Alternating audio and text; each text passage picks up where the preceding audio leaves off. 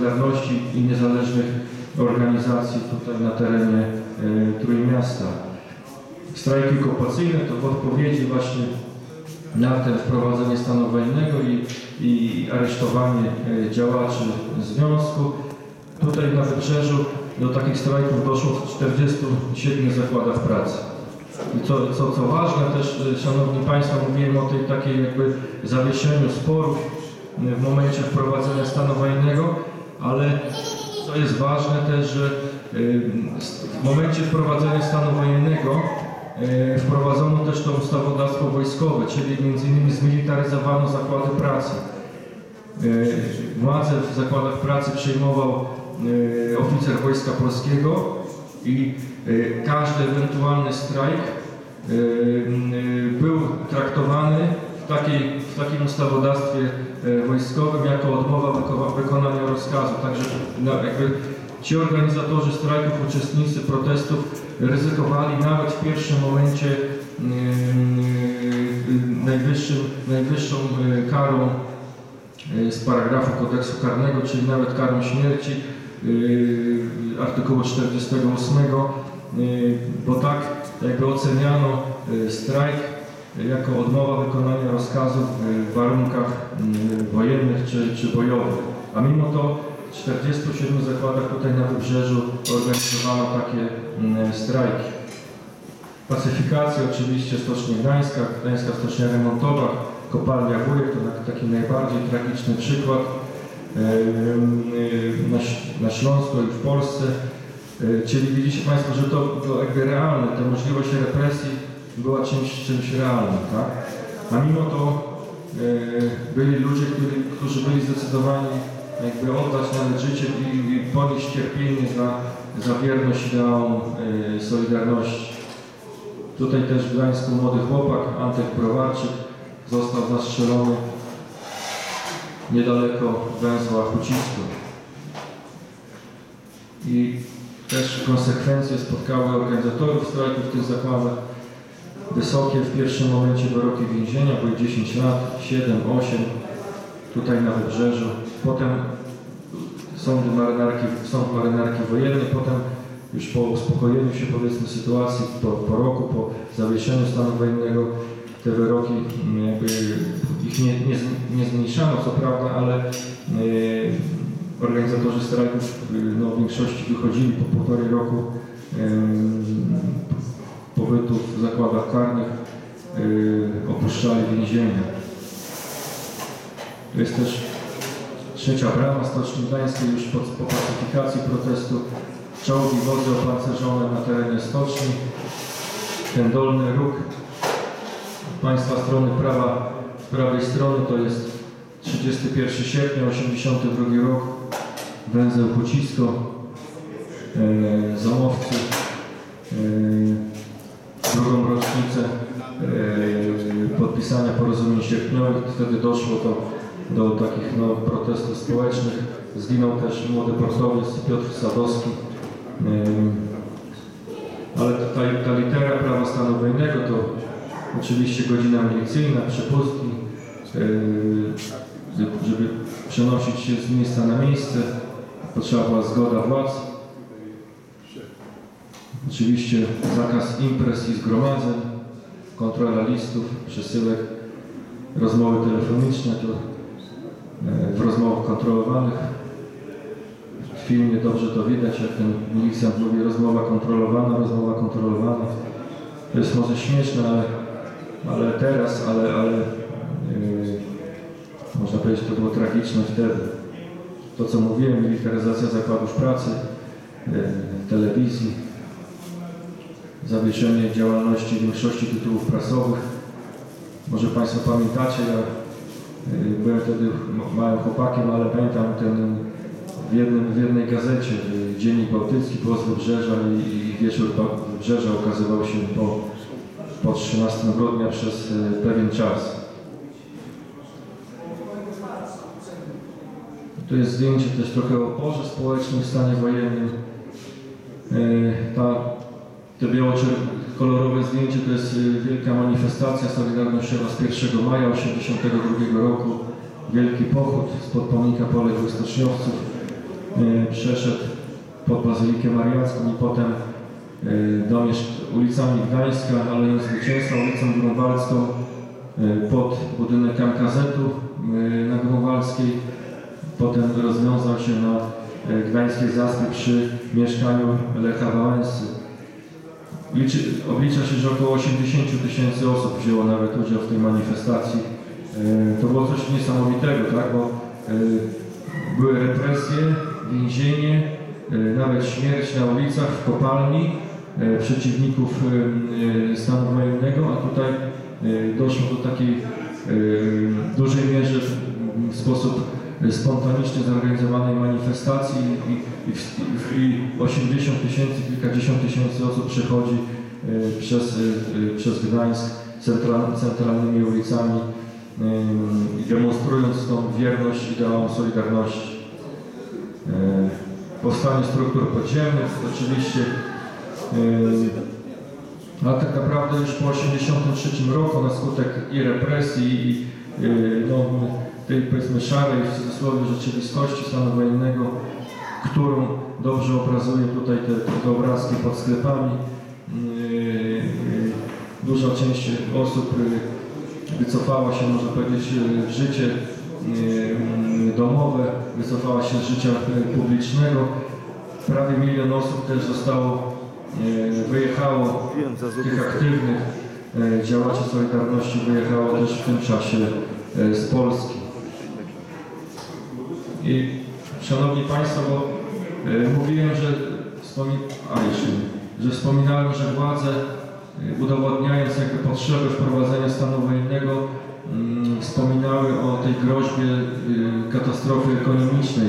Potem ten czas stanu wojennego też zweryfikował te, te uzasadnienia bo generał Jaruzelski, który po wprowadzeniu stanu wojennego pełnił taką pełnił monopol władzy w, Polsce, był i zwierzchnikiem sił zbrojnych i, i szefem partii yy, komunistycznej i prezesem Rady Ministrów, miał wszystkie narzędzia jeszcze w czasie stanu wojennego, że mógł yy, jakby rządzić w sposób nawet taki powiedzmy w cudzysłowie niedemokratyczny za pomocą mm, specjalnych dyrektyw na przykład nie licząc się z, y, z władzą Sejmu czy ze społeczeństwem, mógł naprawdę dokonać takich głębokich reform uzdrawiających y, stan gospodarki. No i, i, a, to, a to się jednak nie, nie stało, tak? Żeby, że władze nie miały jednak pomysłu przez ten cały okres stanu wojennego na, na poprawę zaopatrzenia i te puste y, półki w sklepach y, no, o tym też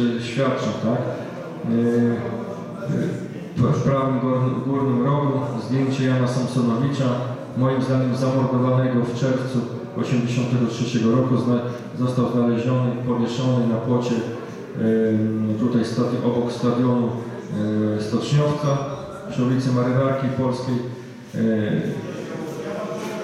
i, i takich osób, które powiedzmy przez nieznanych sprawców tak zwanych zostało zamordowanych, zginęło e, w stanie wojennym było prawie 100 i jakby to też to, że potem e, czy generał Jaruzelski, czy, czy, czy Czesław Kiszczak, e, to moim zdaniem też świadczy o tym, że oni e, nie, jakby nie chcieli ratować sytuacji, czy mm, jakby potem no nic nie zrobili już po 89 roku, żeby, żeby chociaż tych sprawców zbrodni mordów tak naprawdę, czyli poważna, poważna sprawa, zabójstwo e, i ni- jakby nic nie zrobili ku temu, żeby e, znaleźć, ukarać sprawców tych zbrodni tutaj działaczy Solidarności, kapłanów, ale wręcz kryli do końca, tak jak chociażby proces pomordowanych górników z kopalni Wujek, że tam kryto do końca prawdziwych sprawców mor- morderstw. Nie dopuszczono tak naprawdę do ich, ich, ich skazania. Mm, No i to też y, zniszczenie dorobku Solidarności w wymiarze relacji międzyludzkich, tak? apatia, brak zaufania. Wiele, wiele osób y, twierdzi, że no wtedy zgaszono tą nadzieję, taki, y, ochotę do, do działania wielu Polaków i moim zdaniem to się nie odrodziło aż może, może nawet do, do dnia dzisiejszego.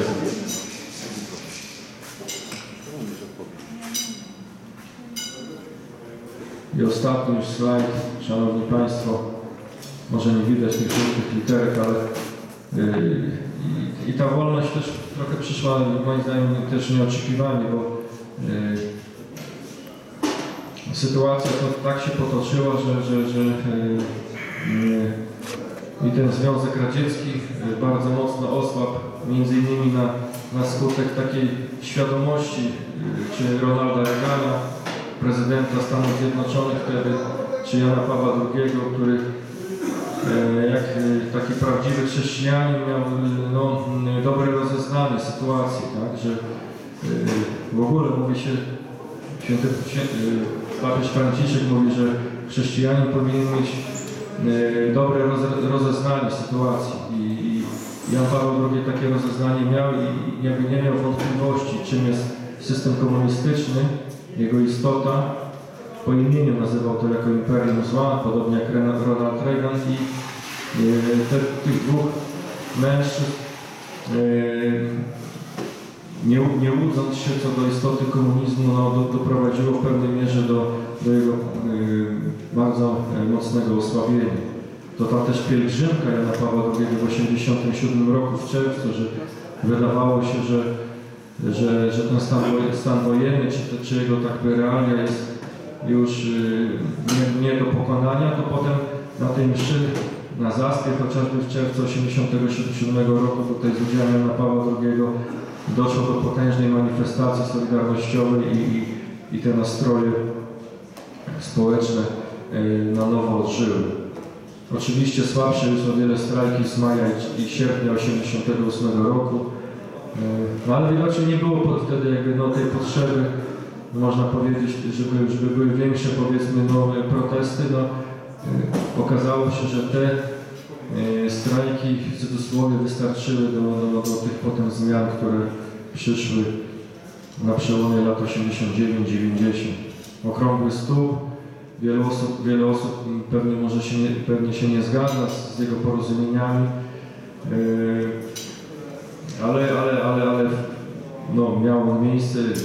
Mi się wydaje, że też y, jednak większość społeczeństwa wtedy no, mm, y, przychylnie patrzyło na, na, na ten okrągły stół i, i też nie było atmosfery w, w kraju, żeby jakoś tak y, w, sposób siłowy znowu gdzieś na ulicy przejąć władzę z, z, z rąk komunistów i, i właściwie bardziej zaniedbano moim zdaniem sprawę już, już po okrągłym stole niż na, na, na, samych, obrad, na samych jego obradach. I to, to też, y, co też y, jakby warto pamiętać zawsze, żeby moim zdaniem, żeby y, to, to, to co zawdzięczamy i, i myślę, że narody Europy Solidarności, tutaj aktywności Pol, Pol, Polski i Polaków w 80 roku, ale potem w latach 80 to czy ten wspomniany rozpad Imperium Sowieckiego, powstanie wielu państw, byłych republik Związku Sowieckiego, ale też upadek muru berlińskiego, gdzie moim zdaniem miał źródło początek w czasie strajków sierpniowych 80 roku i potem też zjednoczenie Niemiec, do czego potem doszło. Także ja z tej strony dziękuję Państwu serdecznie za uwagę. Życzę, życzę tutaj y, dobrych jeszcze obchodów, dobrych rekonstrukcji, dobrego czasu. Cieszę się, że jesteśmy tutaj w sali BHP 37 lat po strajkach, po stanie, po stanie wojennym. Możemy w sposób pokojowy o tym mówić i, i, i to wspominać ten czas. Dziękuję Państwu.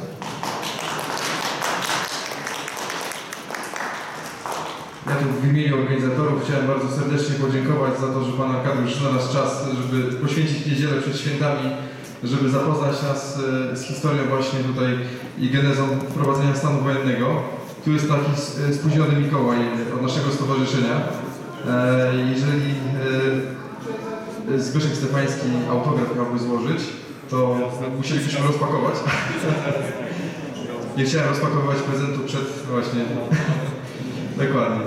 Y, No właśnie stocznia. Stocznia to jest miejsce tutaj szczególne, bo to można powiedzieć stocznia i teren cen- centralnego Gdańska e, to jest e, miejsce głównych wydarzeń i grudnia 70, e, jak i stanu wojennego, czyli 13 grudnia w Gdańsku, gdzie grudzień 70 e, bardziej charakterystycznie związany jest z Pomorzem, Szczecinem, Elblągiem, Gdańskiem. Stan wojenny z kolei rozlał się po, po całej Polsce.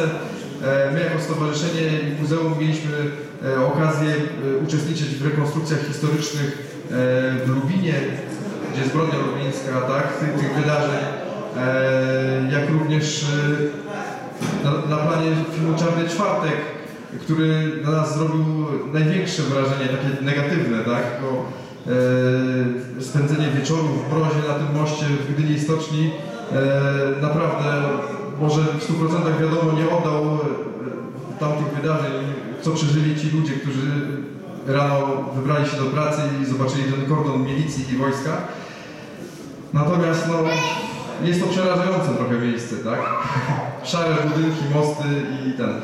O tych, jeżeli ktoś z sali ma jakieś pytanie, czy chciałby ewentualnie opowiedzieć e, o swoich, e, właśnie podzielić się swoimi wspomnieniami ze stanu wojennego. Ja wiem, że wśród nas jest dużo młodych ludzi e, i nie pamiętają.